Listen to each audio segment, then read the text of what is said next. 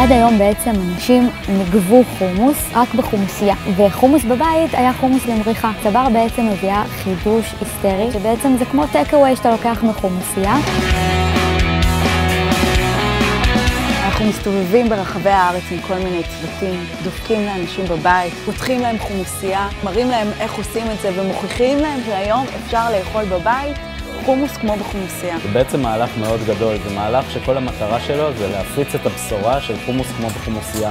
באנו ופתחנו חומוסייה אצלם בבית, בשביל לקבל את התגובות האמיתיות של האנשים. אין פה ליהוק, אין פה קאסט, אין פה בוא ניקח את האבא הזה עם האימא הזאת ונרכיב אותם כמו בכל פרסומת. אחרי שנה של פיתוח מאוד מאוד אינטנסיבית, הצלחנו להביא חומוס במרקם של חומוסייה עם התוספת החמה, מביאה את כל החוויה הזאת שאנשים כל כך אוהבים בחומוסיות הביתה.